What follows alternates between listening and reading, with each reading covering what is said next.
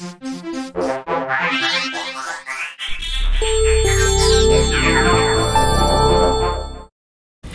everyone and welcome to a video about jacking your vehicle up off-road. I'm going to look at two main options here, the bottle jack combination versus the high lift jack combination. When I say combination, I mean that well, you can't really use a jack just by itself, you've got to have some other accessories with it. So we're going to um, work through those as well. Alright, so let's take a look at some of the options we've got for um, jacking our vehicles up off-road because that will happen, you will get a puncture, you'll need to change wheels.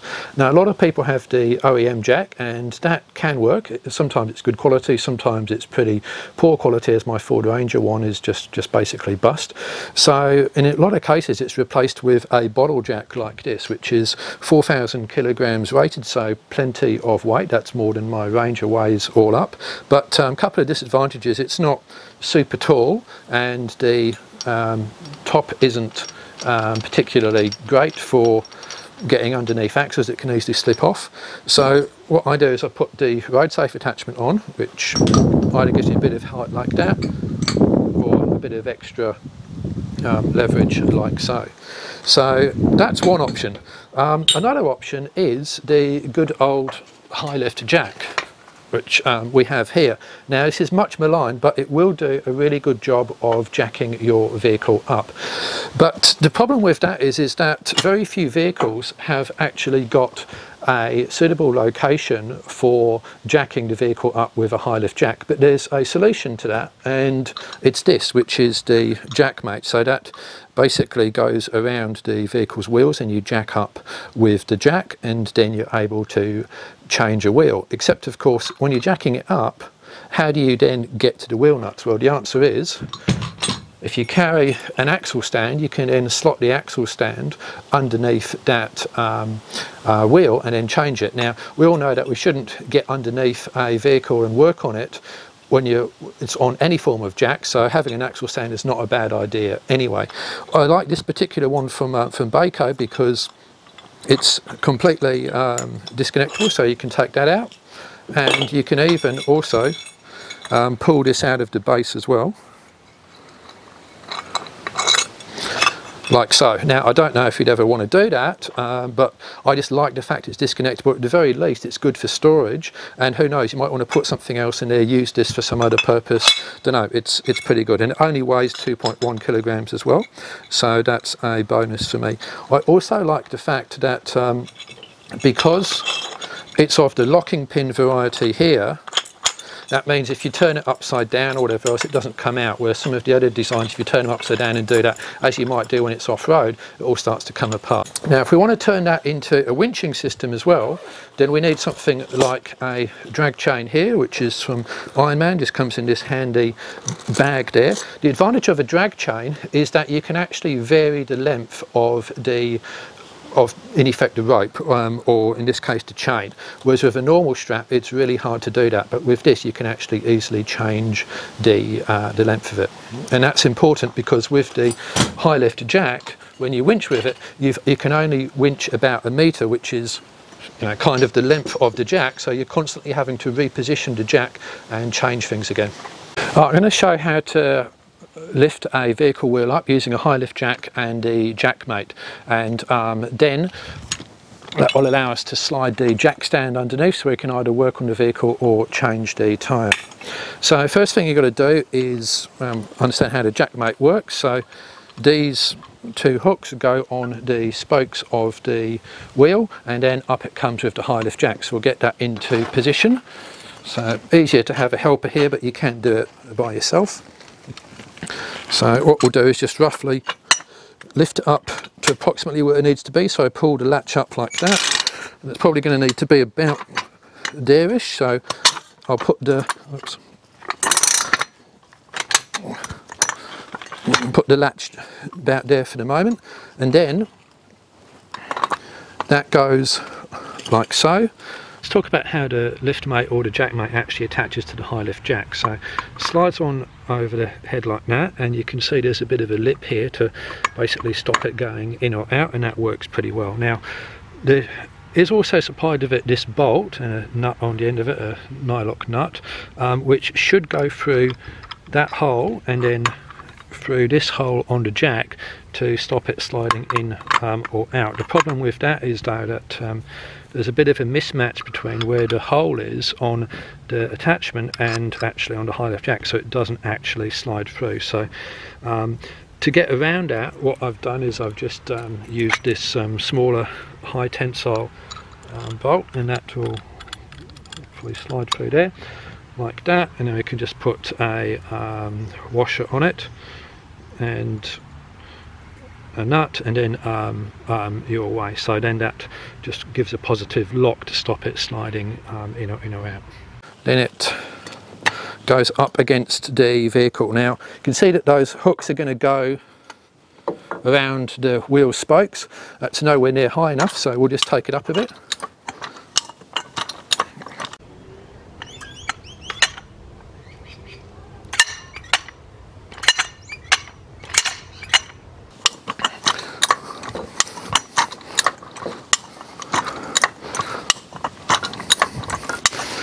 Okay, it's probably getting back to where it needs to be, so we'll latch that back in. Again, it's a lot easier if you've got a helper with you, but I don't, so there we go. All right, now that's probably going to be starting, oh, not quite, to take up the slack.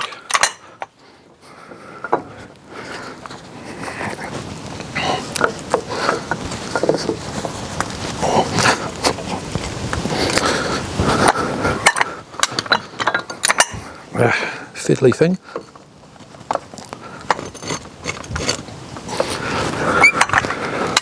Okay, now we're starting to take up the slack. So you can see here I've got the hooks firmly in the um, spokes of the Ranger's wheel and you can start to see that we're actually going to uh, lift the vehicle up. Now this is where the high lift jack starts to get dangerous. Okay, so for high lift jack safety, two things. You've got to assume that the handle will move here. You never want to be in the way of the handle here, so you never want to stand like that with a high lift jack. Always stand to one side and you can use leverage that way. The other thing to assume is that the vehicle may fall off the jack that way or that way, so you don't want to be standing here or the other way around. So the safe area, the safest area is about here. And obviously you'd be um, chocking all three wheels of the vehicle, putting it in low range first or reverse, um, and um, pulling the park brake hard on. So let's go into just start to lift it down and just take nice easy strokes all the way up. And whenever you're not using a high lift jack always return it to that um, safety position there. Never leave the jangle half, halfway down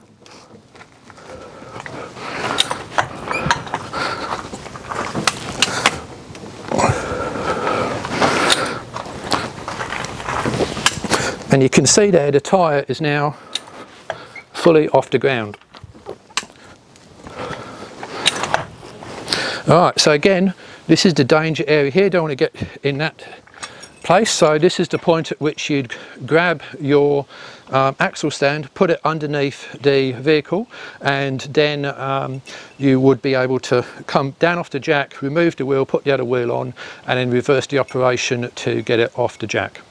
Alright, so to bring the load down, we switch that to the unload position and just carefully lower it back down like so.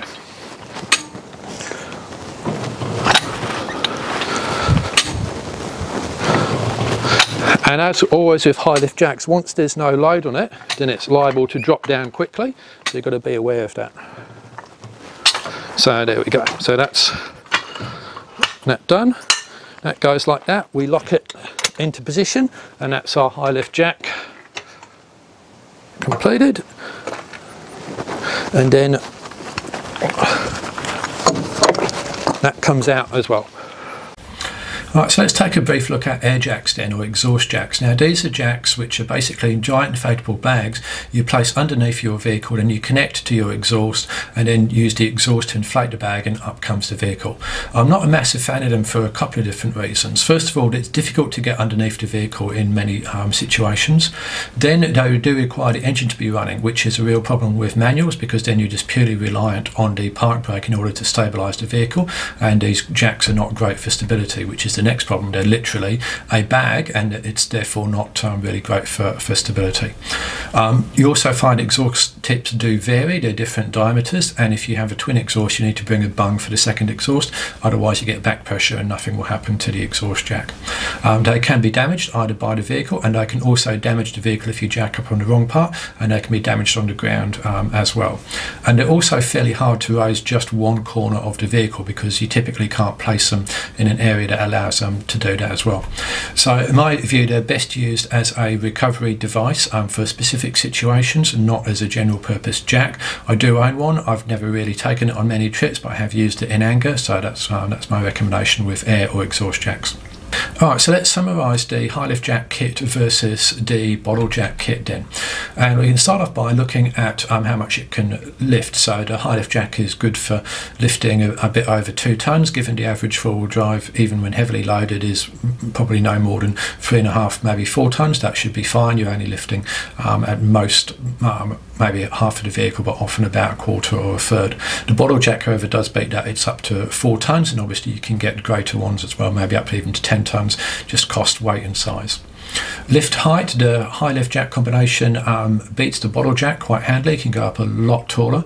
Um, that said, I am not a fan of using a high lift jack all the way up to its full 900 meter or 900 millimeter even extension, and you can get jacks which are even taller than that. But height wise, the lift, the high lift jack definitely wins. Can you use it as a winch? Yes, you can use the high lift jack as a winch. Um, it is effective. Um, only winches a metre at a time. You can obviously put a snatch block or ring on it and get a double line um, pull advantage. Um, you can't do that at all with a bottle jack.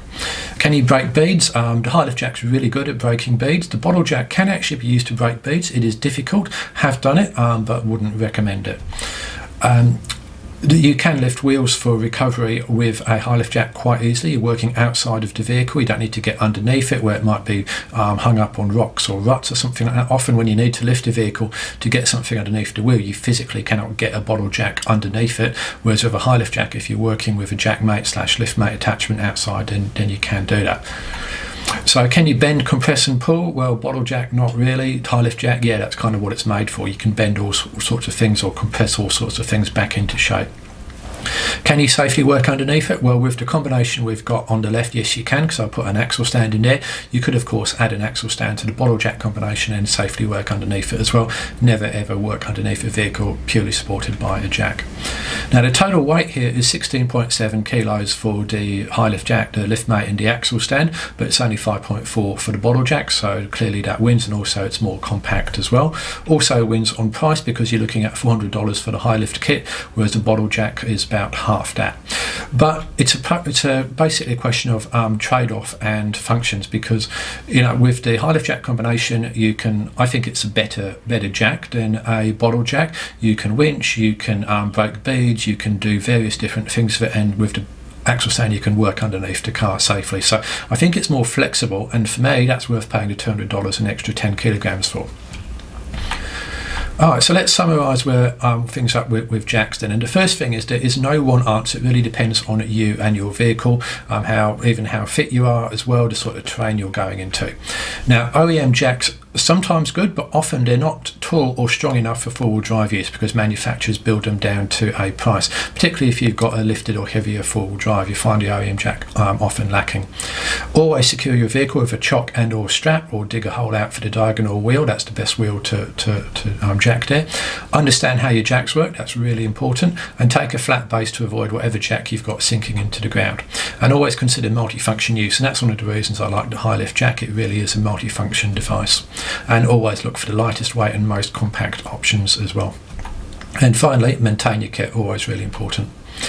So thanks for watching and um, please subscribe to my channel for more content on four-wheel drives, cars, towing and whatever else I can find interesting.